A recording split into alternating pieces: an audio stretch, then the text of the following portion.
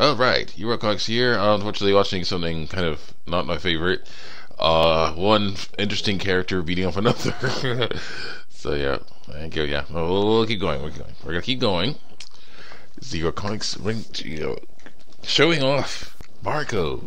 A long time, months. He's ready. He's ready as far as I can tell. He's pretty much ready. So I'm going to uh, show him off first, as we always do here. Show him off using Bandicam now watch, and then we're going to watch him beat the heck out of Kung Fu Man, and then I'm going to play as him in through the Manga Gang, try to beat that. Oh boy, like this here. Do that. Don't. Yeah, Marco uses karate. I try to get a more uh, realistic style of karate for him, and you know, that's how I do things, and I'll try to do that and different things like that. We have like some stuff going on here. We have his style here, his fan children, you know, his you know star and their fan children. It's uh my personal you know fan children, and that's how that goes with these. You know, uh, my voice, of course, for his voice, but you know, so I do it. You know, that's fine. Trying to make movie characters as uh well inexpensively, mm, simply as possible, but still pretty awesome. that was a good one.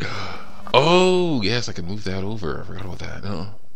I can move his head, his his picture of his face over. I can do that. So I might do that. No. After this bad, after he wins here. No, yeah, he's most likely he's going to win. Mm-hmm. Because yeah, yeah, yeah, Kung Fu Man has some interesting uh, abilities, but uh, yeah, my, my characters based off of Eyedol from Killer Instinct, a version of Eyedol from Killer Instinct for, made from Mugen, usually just tear through him. Now, lately there's been some interesting things. He, he Kung Fu Man has learned to block a bit, stuff like that, but it's no no match. He's still no match for him. Mm. I wonder if he'll do it. I wonder if he'll do a culture combo. I don't know. Not looking like it. Yeah. But we don't know until we try.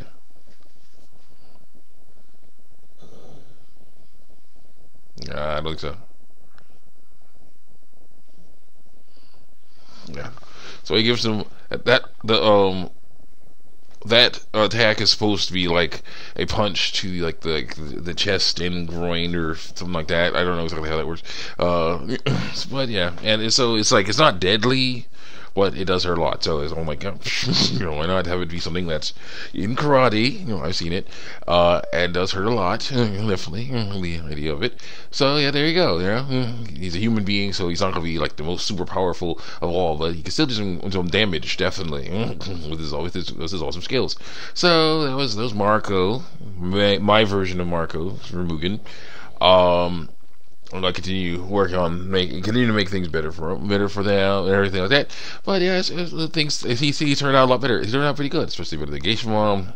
Poor old Geisha mom. I probably will. I will work on her some more. Mm, I will make a new one eventually, but it's gonna take a while. I got a few other guys I want to make first. So I'll see you guys next time. Check me out on YouTube and DeviantArt, and I'll stay tuned for the next one, next video of Marco beating up the Manga Gang. Okay, that's enough.